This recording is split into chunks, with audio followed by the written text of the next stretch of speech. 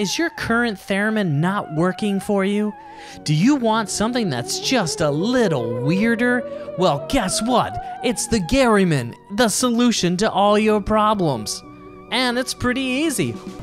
All you gotta do is build yourself a box. That's easy. Then color it. Then paint it. How about a beard? You hook up some wires, get yourself a breadboard, hook up an Arduino, then get a motor to make some weird noises, mic it up, a distance sensor for the eyeballs, a volume knob for the nose, a slider for the mouth, glue some hair, get a nice buzzer, plug it into some guitar pedals, do a bunch of coding, and bam, you got yourself your own Garymin. But the question is, will it jam? And is it funky? Well, you tell me.